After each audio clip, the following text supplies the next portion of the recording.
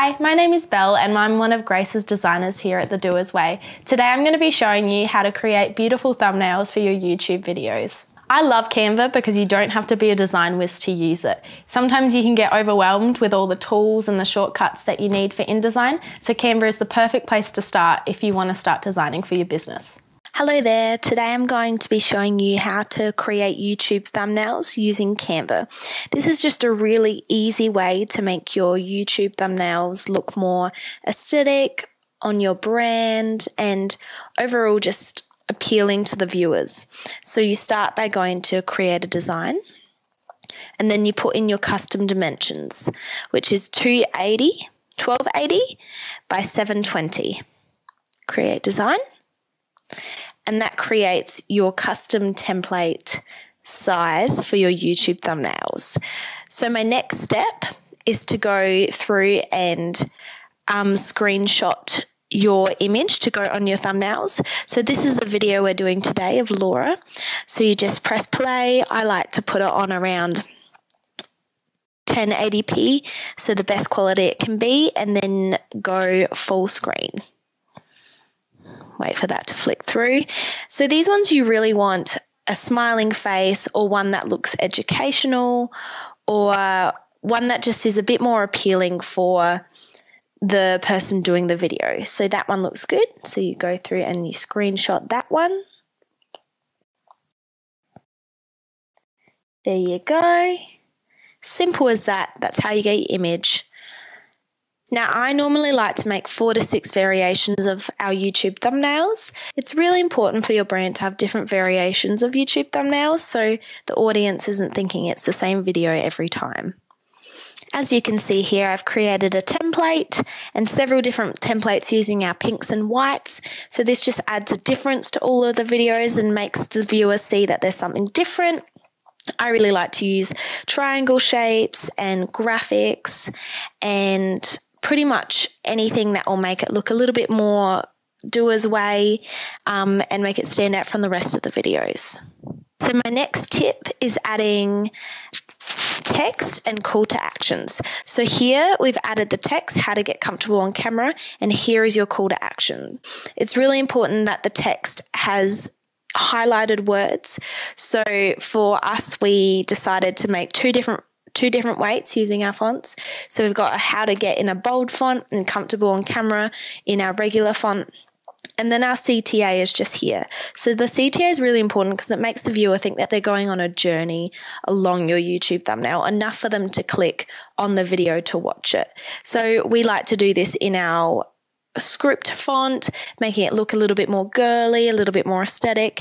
And we've done the same on all the other pages as well. So we've used it here with a let's go or live now or watch now. On this one, we've all got let's go but it's really important to have these here. Now that I've chosen the dimensions and screenshotted that image, I like to go through and create four to six different YouTube thumbnail templates. Now, I don't go through and do this every time, but I like to go through when I'm first starting and create four to six so that I can just fill in the image every time we need a YouTube thumbnail. And it's really good for content marketing. And it's really good for if you need to pump through a lot of thumbnails. Um, just having those templates there makes it so easy just to insert an image, change the text, and be able to upload it as quickly as possible, meaning that it's not a super time consuming task. So I like to go through for us our um, our color is pink, so I just like to make it really simple. Of course, going through and putting your grid on the background first is really important to make sure that you can put your image in there. And then I like to go through and add some shapes. So here you can just go to shapes here and choose any shapes that you like. You can go square. So I like to use the square one and then put on a little bit of a tilt. So then you can make it a little bit bigger on either side just like that. And then you can see you've got a bit of a tilt there and then making it our Doers Way colors. So you've got a really cool block here and you can make another one and we'll get rid of that.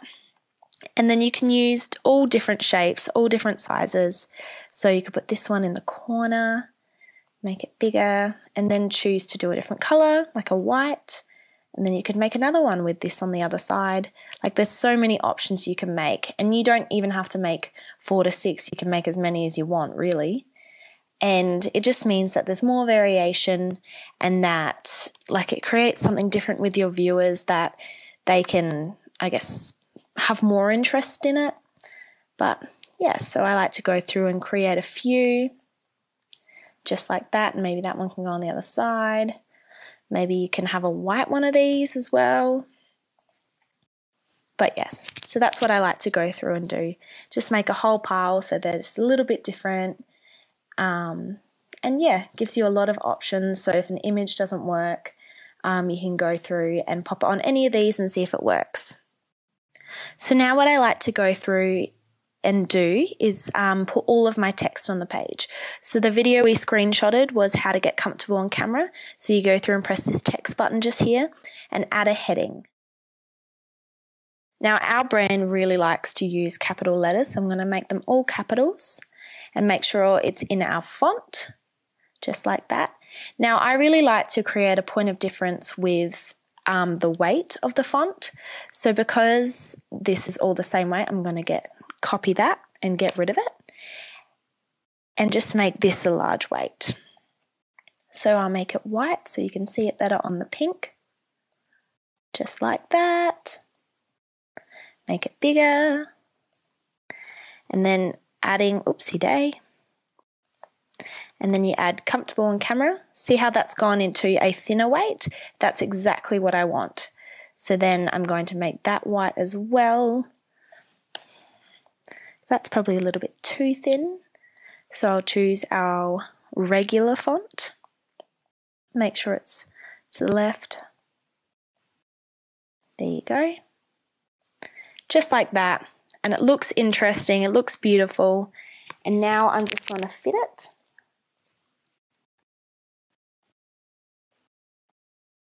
There you go. Put it in the middle. And then you can just copy and paste it on all of your templates. You might have to change some of them to pink. Now, some of them won't fit, which is why it's a really good idea to do different variations because then you can work out which text works better on which one, and it just gives you so many options without having to fit all the time. Now, for our call to actions. I really like these ones to be in different fonts because it makes it stand out, and it also is an opportunity to make it look a little bit prettier so I like to go through and add a heading and write something like like watch now or let's go or live now. Whatever it is you're promoting, like it's just an opportunity for the viewer to see that this is now a segue into the video. So we're going to go let's go now to make this one stand out a little bit more, I tend to choose a different font from the original font. So I like to go through and choose our script font. And you can see it just fits really nicely there. Make it a little bit bigger and of course match it to the text. There you go. And you can place that anywhere. You can make that whatever size you need to. It's really simple, really easy. And then you pretty much just copy paste it where you need to go so now my next step is adding little graphics to it.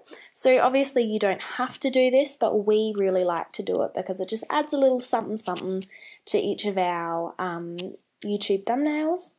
And we find that it's really appealing and it also creates a point of difference from all of our other branding. Um, and yeah, it's really important to make sure that it's all cohesive with your brand, obviously, so you can't just go off and do any kind of graphic but we have created these ones in Photoshop, or you can buy these on Canva, or I know that Canva does have elements that are really easy to use, so you can just go here and go elements and look them up here. So you could just go like graphics, and it should come up with a whole pile of graphics that you want to use. But for this particular one, we decided to do some uploads. So we just like to put it on like that, maybe flip it around a little bit increase size. Depends really what you want to go for with the feel of your brand. So we really like these ones because they just, you know, can sit up there really simply. And yeah, they just look really appealing. So I'll go through and do that to all of them.